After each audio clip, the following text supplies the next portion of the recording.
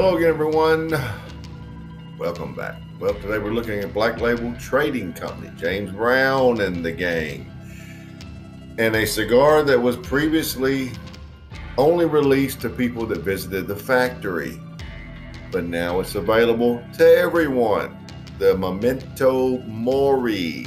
This is the Lonsdale, six and a half by 46, finished in a little pigtail cap, and there is the density.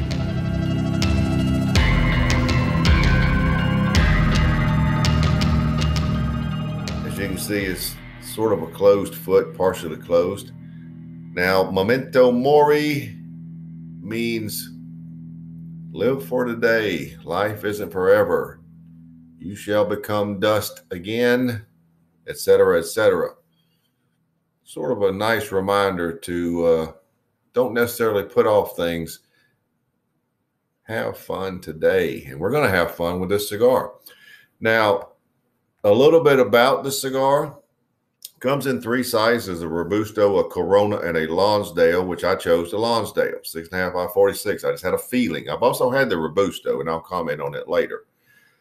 But this cigar is a uh, made with a Pennsylvania broadleaf wrapper, uh, Ecuadorian Habano binder, and Nicaraguan filler. It has a nice feel in the hand. I've had several of these and I'm hoping it pans out the way the others did. But let's get right to it and find out the new available wide worldwide now Memento Mori Lonsdale.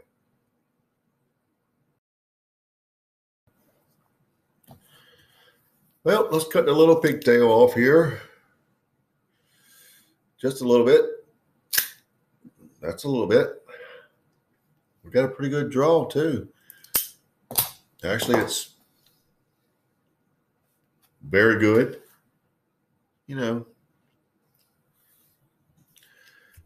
good.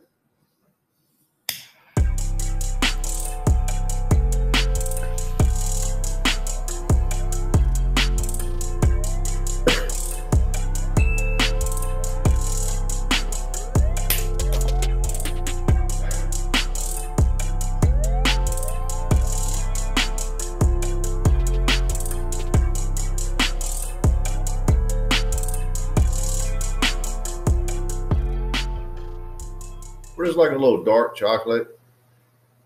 Just hints of citrus and peach and citrus peel following that. Nut, there's a little nutmeg in the mix, give it a little dry nutmeg, I would call it. And espresso.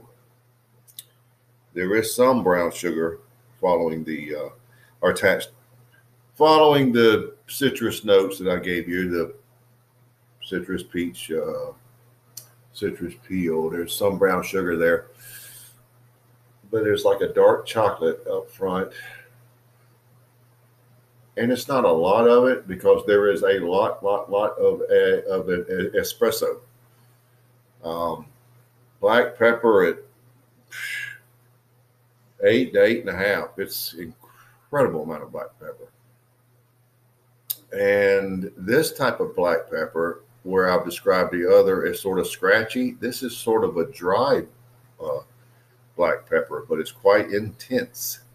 So that's how you start. As expected, I hope you expected it to be dark noted, but there's a lot of sweetness there. And uh, uh, it's pretty darn good. So let's see what we have by the first third.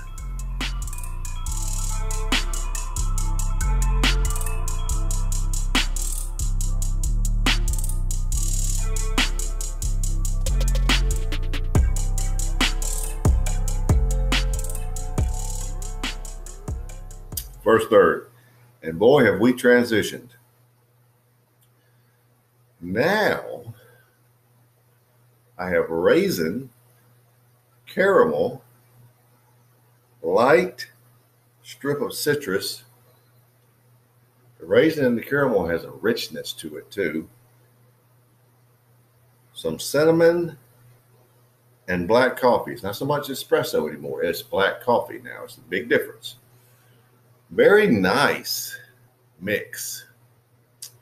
very, I would call it full bodied right now. I'd call it full bodied at light up, but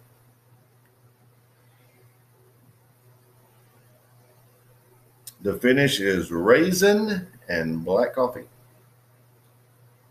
Very good lingering black pepper.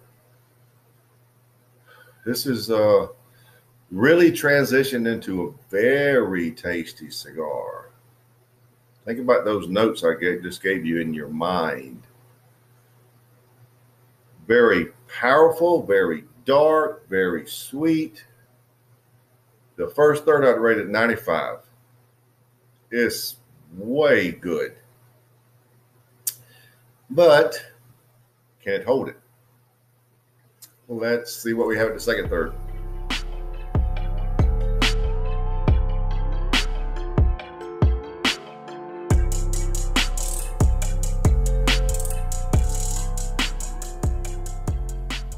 End of the second third. And a little more transitioning. Still have the raisin, it's a little light. Nougat with the caramel, light underlying citrus, a lot of brown sugar, which could be the nougat and the caramel, but I'm getting a very distinctive sweetness and a lot of it of brown sugar, and black coffee, which is trying to work its way back to espresso. Black pepper is still eight plus. Okay. Full bodied as can be please have something on your stomach when you smoke this cigar, or you'll be not feeling so good. Finish is nougat and raisin with an incredible amount of lingering black pepper. This is a, again, not to reiterate, but I will, very powerful, very dark, very sweet cigar. I will hold 95. There's no earthly reason to change it. So the question of can it hold it? Well, it has to this point. We've got one third left. Let's see.